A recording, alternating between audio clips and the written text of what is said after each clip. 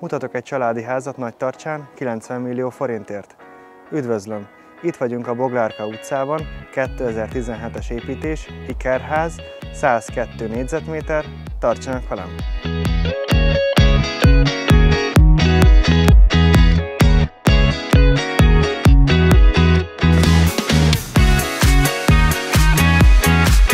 Kétállásos fedett autóbeálló, belső kétszint, amerikai konyhás nappali plusz 5 hálószoba.